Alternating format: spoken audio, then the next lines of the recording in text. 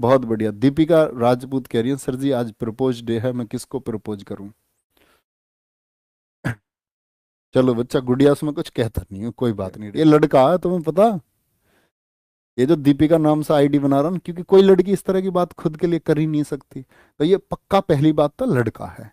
और ये लड़का ऐसा है कि ये सब बिल्कुल ये अंदाज़ा नहीं है कि एक लड़की बनना चाह रहा है, ये बनना क्या चाह रहा है। इसके माता पिता जो ये समझते हैं कि हमारे, हमने एक सूरवीर को जन्म दिया है, उन्हें ये नहीं पता हमारा लड़का डिजिटली लड़की बना हुआ है। हैं? अरे यार, ऐसा क्यों करते हो? भगवान करे तेरे एक औलाद हो।